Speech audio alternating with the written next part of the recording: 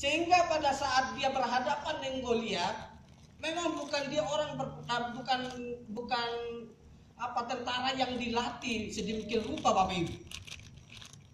Raja Daud pada saat itu sebelum yang jadi raja, dia sebagai gembala. Dan pekerjaannya adalah dia hanya mengembalakan domba.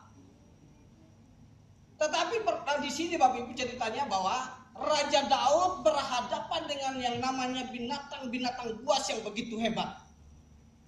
Kalau saya Bapak Ibu, kalau saya secara pribadi, mungkin saya lebih milih menyelamatkan diri saya ketimbang saya menyelamatkan binatang buas.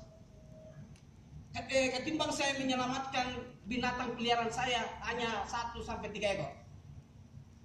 Daripada taruhan nyawa begitu Bapak Ibu, ketika ada karena dicerita bahwa uh, binatang buas itu pas, uh, sering uh, menerkam uh, men,